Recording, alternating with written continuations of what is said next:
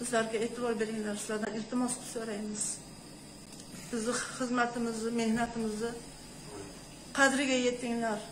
O'zbekiston tumanlaridagi shifokorlar koronavirusdan ko'r ko'rona davolanayotganini aytmoqda. Surxondaryoning denov shahrida covid 19 yuqtirganlarni davolab o'zi ham kasallikka chalingan shifokor qo'l ostida to'rt bemor koronavirusdan vafot etgani olamdan o'tganlarning orasida shifokorlar ham borligini aytmoqda.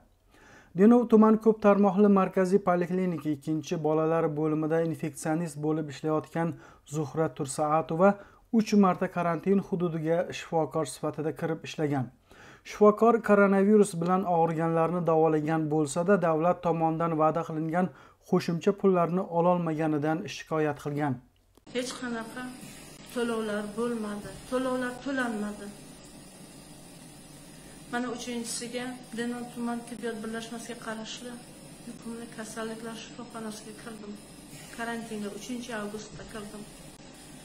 O'n yettinchi avgustgacha mana shu yerda yuqumli kasalliklar shifoxonasida elliktadan oltmishtadan ziyod bemorlarni qaradim. Hammasi covid положительный bemorlar. Положительный bo'lgani uchun qo'l ostimda shaxsan o'zimni qo'l ostimda to'rtta o'lim holati sodir bo'ldi. Mana shu agonal holatda bemorlarga shifokorlik nuqtai nazaridan kerakli muolajalarni kerakli birinchi sa'y harakatlarni bajardik qildik lekin shunga qaramasdan bemorlar o'layapti. O'zim o'n yettinchi avgust kuni qaytadan chiqib ketishim uchun karantin muddatim tugagani uchun tahlil natijasi topshirganimda mendan covid aniqlandi. Mana menda covid aniqlandi. Zuhra tursaatovaning aytishicha u davolanayotgan muassasada oddiy laboratoriya ham yo'qligidan bemor sifatida qanday dorini iste'mol qilishni bilmayotganini aytmoqda. Sog'liqni saqlash vazirligi matbuot xizmati bbcga zuhra tursaatovaning murojaatini o'rganib munosabat bildirishini aytdi. Ijtimoiy tarmoqlarda pandemiya davrida shifokorlar ba'zi paytlarda yetarli e'tiborga loyiq ko'rilmayotganini aytishmoqda. Telegramdagi fidokorlar guruhi 11 avgustdan boshlab o'zbekistonda vafot etgan shifokorlarning ro'yxatini e'lon qila boshladi. 13 kunning ichida 246 shifokorning vafot etganligi to'g'risida ma'lumot joylandi. Kuzatuvchilar ushbu guruhda nomlari keltirilayotgan tibbiyot xodimlarining aksariyati koronavirusdan vafot etganiga ishonadi.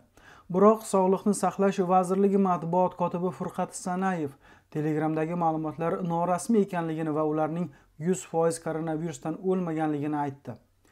Pnevmoniyadan insultdan o'lganlar bor. U norasmiy kanal. Kim shifokor bo'lib o'lsa o'shalarning ismini qo'yib boryapti.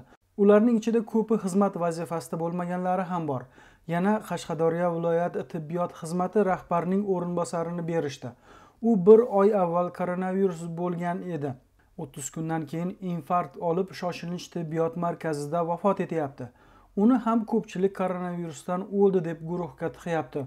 Ular rasmiy kanal emas deydi furqat sanayev. Denovdan shifokor zuhra tursaatova. E'tiborsizlik muolaja uslubidagi kamchilik va boshqa muammolar sabab boshqa bemorlar qatori shifokorlar ham koronavirusdan vafot etayotganidan tashvish bildiradi. U tibbiyot xodimlariga e'tibor qaratish lozimligini urg'ulaydi. Davo muolajalari o'lda julda. Nima sababdan? Chunki laboratoriya yo'q. Oddiygina bir geparin olishga o'ylanib qolaman. Qonimni tekshirtirishim kerak svertimiz oddiygina bir svertimiz tekshirishni imkoni yo'q laboratoriya nol. Qo'shimcha instrumental tekshiruvlar iloji yo'q oddiygina haligi kogonogram haqida gap qilmasam bo'ladi oddiygina svertimiz aniqlab bo'lmaydi biz nima deydi ko'r ko'rona davo muolajani o'tkazyapmiz meditsina xodimlariga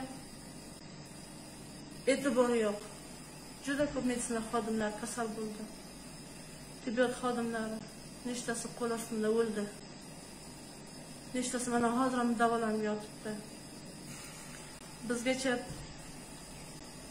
e'tibor yo'q. Denov ayniqsa denov tuman tibbiyot xodimlari orasida e'tibor yo'q. Hech kim ahvoling qalay deb so'raydigan mutasaddi rahbarlar yo'q.